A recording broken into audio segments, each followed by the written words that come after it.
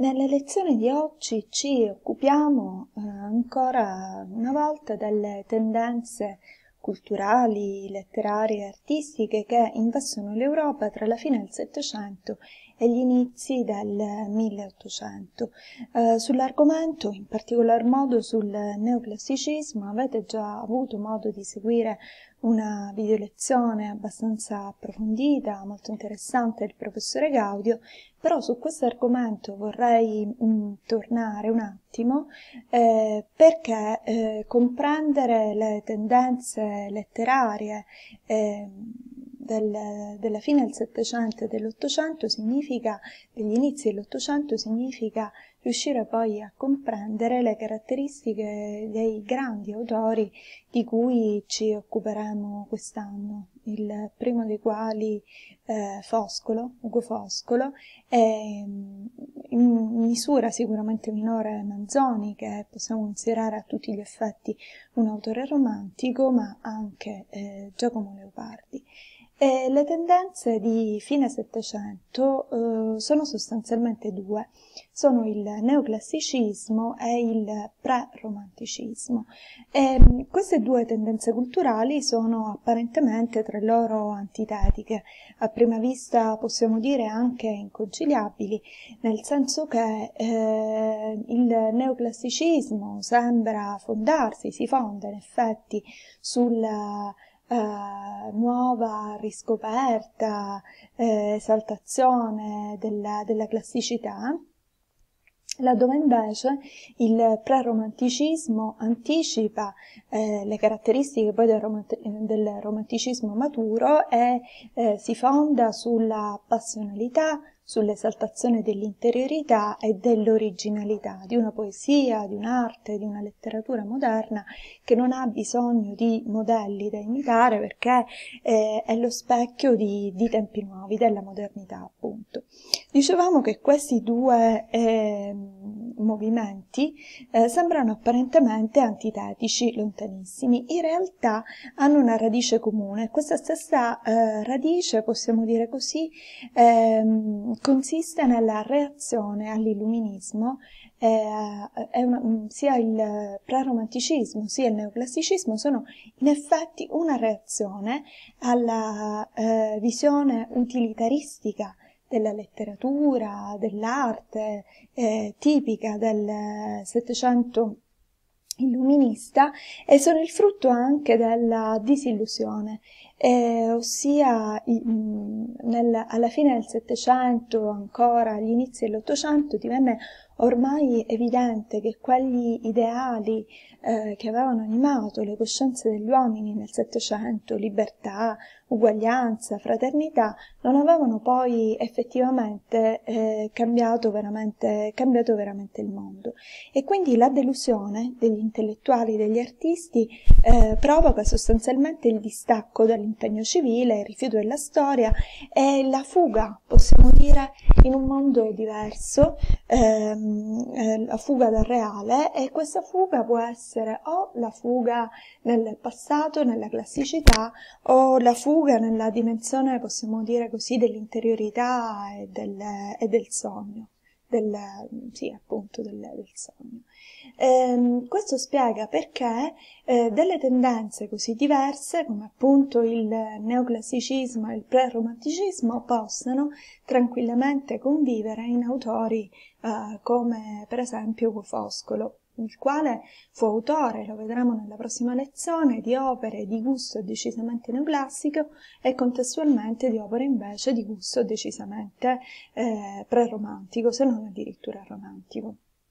E si suole individuare due aree geografiche diverse, ehm, nel senso che di solito si considera patria del neoclassicismo l'Italia e la Francia, e soprattutto l'Italia in realtà, anche se bisogna dire che il neoclassicismo, come avete avuto già modo di studiare, di leggere, nasce in Italia eh, per impulso di studiosi stranieri, in particolar modo tedeschi che furono tra i primi a riscoprire in un certo senso eh, le bellezze archeologiche, artistiche eh, del, dell'Italia eh, che l'Italia in un certo senso aveva anche dimenticato, mentre come patria del preromanticismo si, eh, si suole eh, individuare eh, il, nord, il nord Europa, in particolar modo l'Inghilterra e la Germania. E ehm, questo non significa comunque che poi sia possibile distinguere eh, geograficamente o cronologicamente il neoclassicismo e il preromanticismo perché sostanzialmente si tratta di due tendenze appunto artistiche e letterarie che per molto tempo si, eh, si sovrappongono e che si sovrappongono anche eh, in uno stesso autore.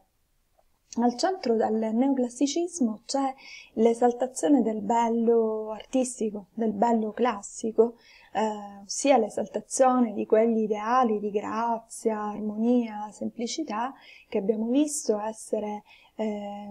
possiamo dire così, gli ideali a cui aspirava per esempio anche l'arte rinascimentale.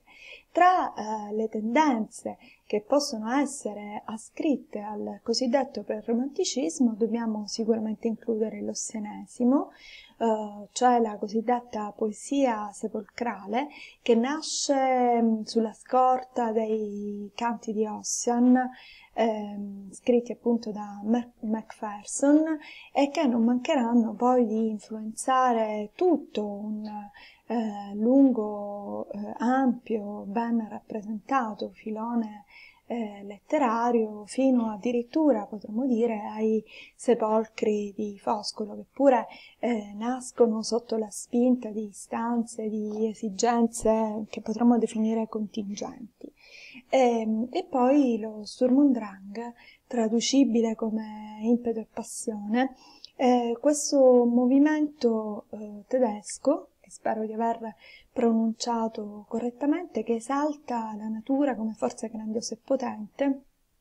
che esalta il carattere nazionale e patriottico dell'arte, che presenta una figura d'artista inteso come, come genio creatore, che non ha bisogno di modelli da seguire, non ha bisogno di regole, ma che segue appunto le emozioni e i sentimenti. Il neoclassicismo, eh, vi allegherò poi il PowerPoint con eh, tutta una serie di piccole pillole, piccole video lezioni anche molto eh, carine, stimolanti sul neoclassicismo, per esempio il Bignomi, eh,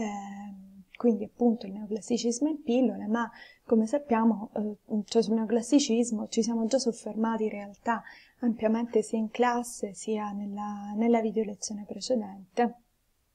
Quindi vado così un po' velocemente. Sappiamo si sviluppa tra la fine del Settecento e gli inizi dell'Ottocento durante la Rivoluzione francese e nell'età napoleonica proprio sotto Napoleone Bonaparte eh, conosce un, uno straordinario successo per eh, motivazioni diverse, tra cui anche la volontà di Napoleone Bonaparte di ricollegarsi alla grandezza del, dell'impero, dell'impero romano. E, ehm, I motivi e le suggestioni eh, che portano alla nascita del neoclassicismo sono diverse. Eh, come vi dicevo poco fa, è una, tendenza culturale, artistica e letteraria che ha sicuramente il cuore, il proprio centro in Italia, ma che nasce per impulso di studiosi stranieri, in particolare il testo che possiamo dire così da avvio al neoclassicismo nel Settecento e la storia dell'arte e dell'antichità di John Wilkeman, che sicuramente possiamo considerare appunto il padre del neoclassicismo. E, mh, sicuramente tra, le, eh, tra, gli avvenimenti che favorirono eh, il, l'avvio di questa tendenza culturale vi fu la riscoperta di, eh, di Ercolano e Pompei, e queste città eh, dell'antica Roma che erano state mh, seppellite dall'eruzione del, del Vesuvio e che vennero appunto eh, riscoperte intorno al 1740 per, inf- per influsso di Carlo III di, di, Carlo III di Borbone. La, l'impressione, l'emozione che suscitò la possibilità di poter eh, rivedere delle città antiche nella loro interezza eh, fu, fu incredibile e, e insomma eh, naturalmente colpì molto l'immaginario eh, collettivo del, del, tempo, non solo degli italiani, soprattutto degli stranieri. Non è un caso che l'Italia divenne una delle mete principali del cosiddetto Grand Tour,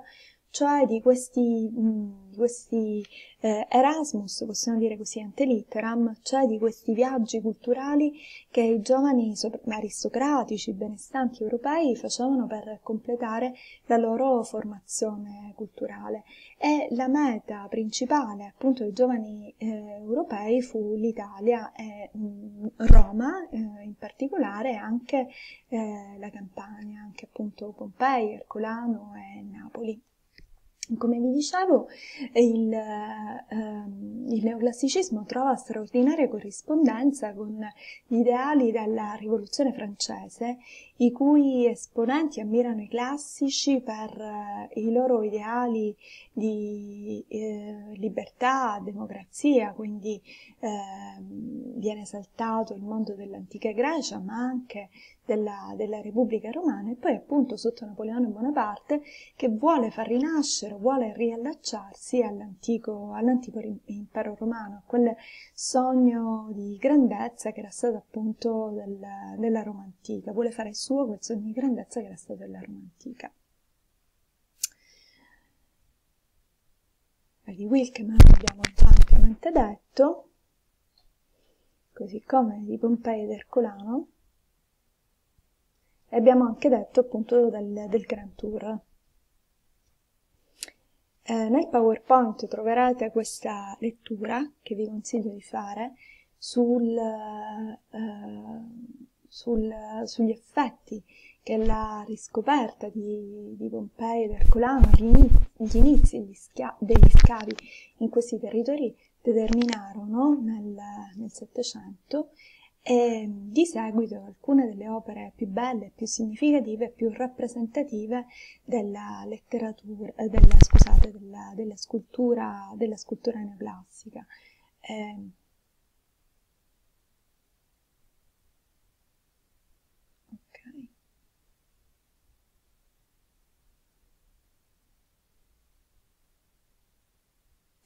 Che cosa accade in letteratura? Eh, vado un po' velocemente perché soltanto, mi restano soltanto tre minuti per, per questa video lezione. Allora, le, eh, il neoclassicismo in letteratura si caratterizza per la eh, ripresa, riscoperta di eh, miti provenienti dal mondo, dal mondo classico. Eh, una delle opere eh, più esemplificative in questo senso sono per esempio le grazie di Ugo Foscolo. Il linguaggio delle opere neoclassiche si fa estremamente ricercato, ricco di latinismi e di grecismi, e una tendenza eh, che si consolida in questi anni è la, la traduzione dei poemi antichi. Eh, celeberrima a questo proposito è la traduzione dell'Iliade, che qui per errore è scritto minuscolo, operata da Vincenzo Monti. Um, in realtà Monti non volle semplicemente, ehm, come posso dire, eh, limitarsi a fare una traduzione del poema omerico, ma cercò di creare esso stesso un nuovo capolavoro, in qualche modo cercando di gareggiare anche col modello per eh, tono, per stile e per, eh, per, tono, per stile e per eleganza. E, ehm, la traduzione dell'Iliade di Monti è se stesso un capolavoro, non è un caso che il poemio venga ancora oggi eh, utilizzato in tutte le antologie di epica delle scuole medie delle scuole, delle scuole superiori e che, che questa traduzione dell'Iliade sia stata per moltissimo tempo sostanzialmente l'Iliade eh, in italiano per, per, eccellenza. Al neoclassicismo rimandano anche le tragedie di Alfieri, di Vittorio Alfieri, eh, che può essere considerato un romantico sicuramente per la passionalità del suo animo, eh, per, ehm, per, i temi che affronta nel, nelle sue opere, ma che è assolutamente poi eh, neoclassico per il lessico, per la ricercatezza dello stile, per la ripresa di miti, eh, sia del mondo classico in realtà sia anche eh, biblici. Infine Ugo Foscolo, che forse è l'autore più esemplificativo di questo periodo perché assomma in sé tutte le tendenze della fine del Settecento e inizio dell'Ottocento ehm, ed è sia neoclassico sia preromantico, ma sicuramente le grazie a Giacinto rimandano per molti versi al neoclassicismo.